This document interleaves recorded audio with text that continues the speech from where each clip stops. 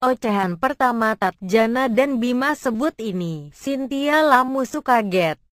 Usia anak kembar Cynthia Lamusu, Tatjana dan Bima, sudah menginjak 8 bulan.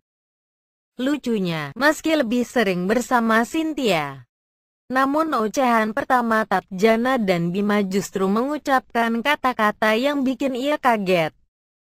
Tatjana dan Bima sudah mulai ngoceh-ngoceh. Tapi sayangnya ocehan pertama mereka bilangnya, Papa. Padahal, lebih sering sama mamanya tiap hari, cuma diajarin bilang, Mama. Tetap saja bisanya bilang, Papa, ucap Cynthia Lamusu ditemui di kawasan Kuningan. Jakarta Selatan, Selasa, tanggal 1 Agustus tahun 2017. Meski belum bisa mengoceh ucapan, Mama, namun istri Surya Saputra itu tetap bahagia melihat perkembangan putra dan putrinya. Karena punya anak kembar, banyak keseruan yang terjadi di rumah. Benarkah karena baby Tatjana lebih aktif maka baby Bima kerap menjadi korban kembarannya?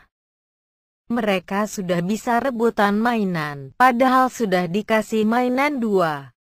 Tatjana lebih agresif Bima pasti jadi korban ketendang, Tatjana aktif banget. Gerakannya sudah aktif banget, Tatjana juga sudah bisa merangkak duluan. Kalau Bima masih mau merangkak, pungkas Cynthia.